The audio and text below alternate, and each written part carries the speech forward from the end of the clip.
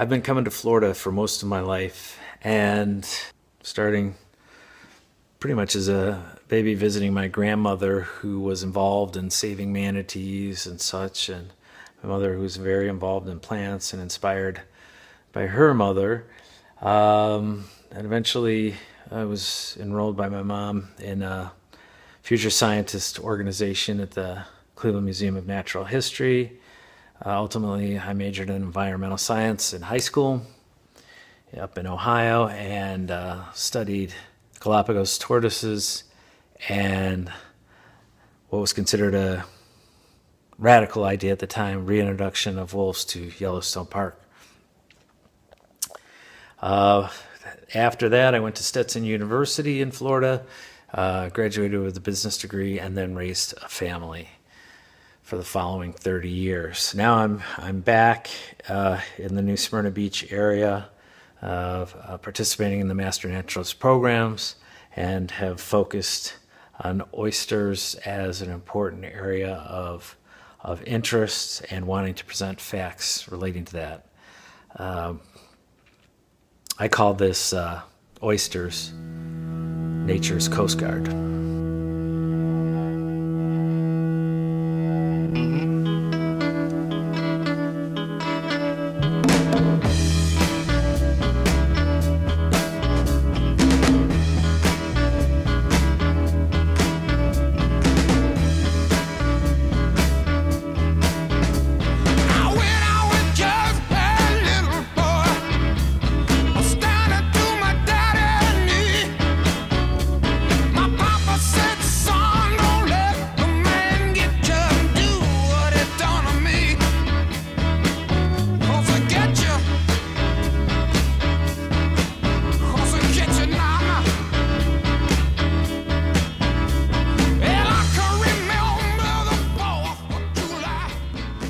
Oyster's filter feed, which helps improve water quality and clarity. A single oyster filters as much as 50 gallons a day, and oyster reefs provide food, shelter, and nursery areas for a diversity of species, including fishes, crabs, shrimp, and birds. Oyster reefs are natural buffers and protect shorelines from erosion due to boat wakes and storms.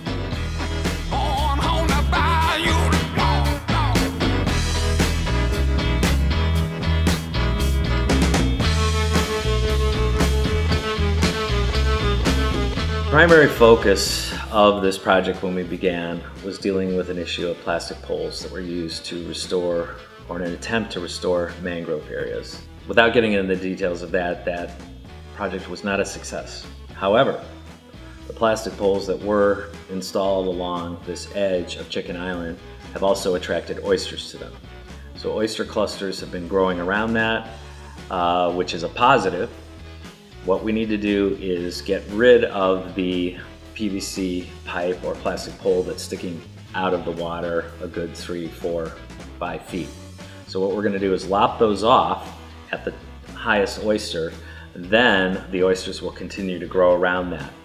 Uh, those are also located in a heavily concentrated oyster restoration area. So it's a very important area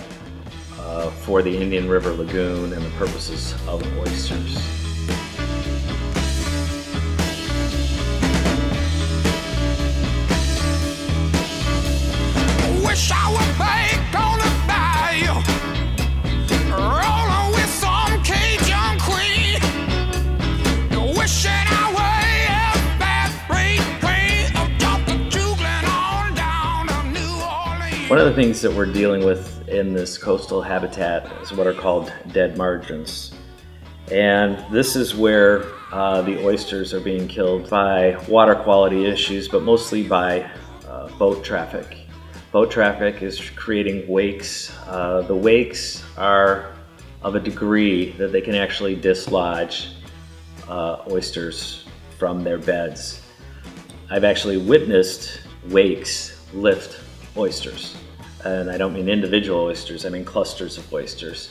What happens when these clusters are lifted, they're moved and they start to pile. As they start to pile, they're exposed away from their natural environment and they're exposed to air and left, shall we say, high and dry.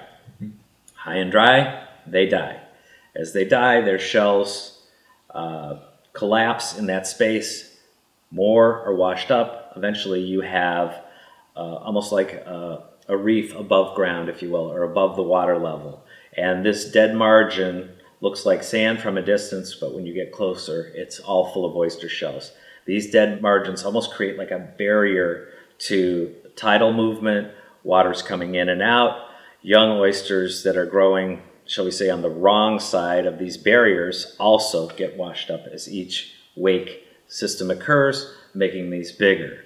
One of the things that was done uh, by Marine Discovery and the other partners working on the oyster restoration projects was to actually bring special earth moving equipment and leveling these dead zones and then filling them properly with living organism oysters.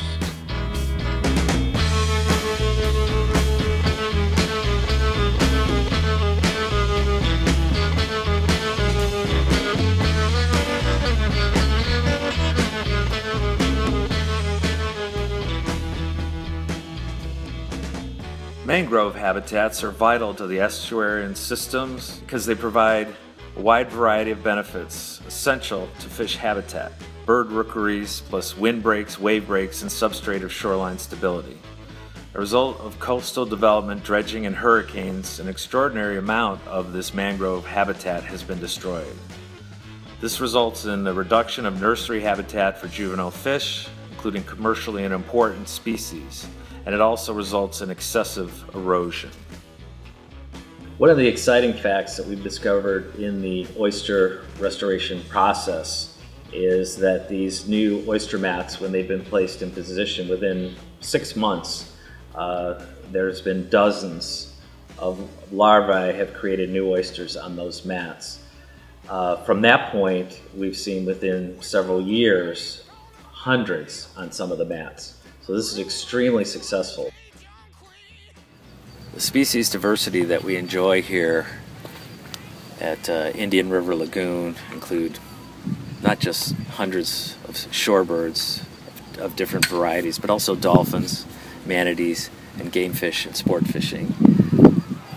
It allows for tremendous enjoyment for people who enjoy nature, also people who enjoy getting out and fishing, and the oysters help create this habitat as a keystone species, they make it possible for all the enjoyment that we are allowed to have by living and visiting this area.